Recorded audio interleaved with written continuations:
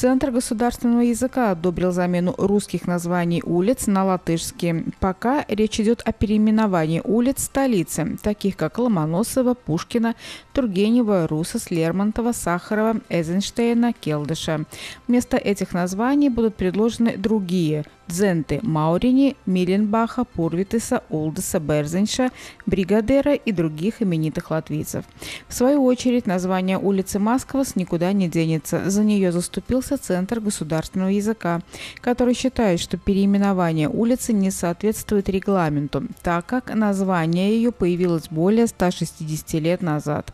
Напомним, ранее в Управление архитектуры и дизайна городской среды Рижской думы поступило предложение о переименовании улицы улицы Масковас в улицу Латгалес. С 1 июля прекратит работать справочный телефон 8989. Правда, пока временно. Об этом сообщили в Национальной службе здравоохранения. До сих пор по этому бесплатному телефону можно было записаться на вакцинацию от COVID-19, а также получить информацию об этой болезни и цифровых сертификатах. Жители, как и прежде, смогут записаться на вакцинацию на портале manavakcina.lv, а также связавшись со своим семейным врачом или по записи в ближайшем процедурном кабинете. В свою очередь, если пенсионер хочет получить прививку от COVID-19 дома, то следует звонить по номеру телефона 8 300 12 34. Справочный телефон 8989 начал работать 10 февраля прошлого года. За это время жителям было оказано более 700 тысяч консультаций, отвечено на более чем 45 тысяч электронных писем. К слову, за пять прошедших дней в Латвии было выявлено 827 новых случаев заболевания COVID-19.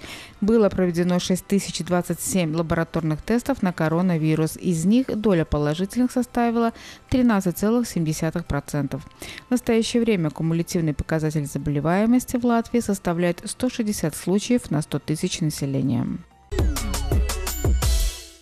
В Латвии можно будет вырубать и молодой лес. Такое решение было принято на заседании правительства. Таким образом, Кабмин намерен способствовать объему производства щепы, которая необходима для производства, в том числе и тепловой энергии. Согласно исследованиям Латвийского сельскохозяйственного университета об определении параметров рубки, изменения будут способствовать увеличению стоимости лесов на 440 миллионов евро при условии целенаправленного восстановления с использованием ценного репродуктивного репродуктивного материала. Ежегодно чистый доход отрасли может увеличиться на 12 миллионов евро.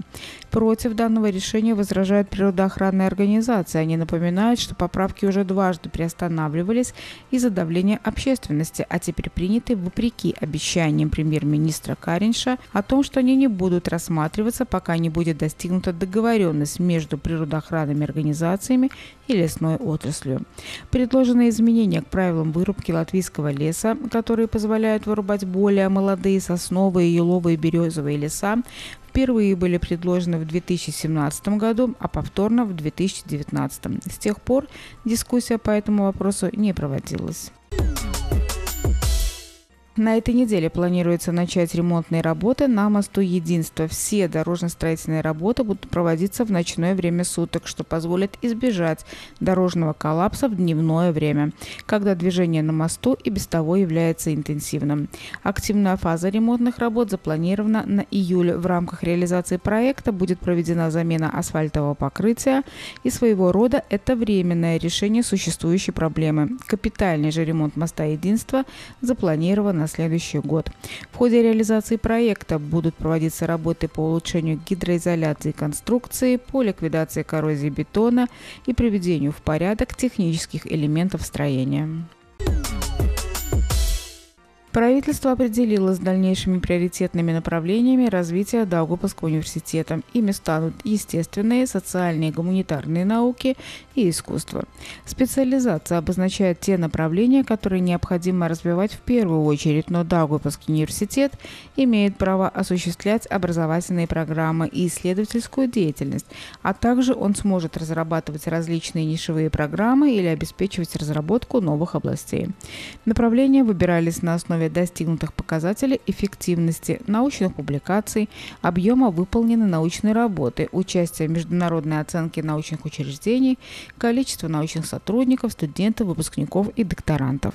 До 31 августа 2023 года Министерство образования и науки должно представить на рассмотрение Кабинета министров проект решения о порядке обновления специализаций высших учебных заведений страны.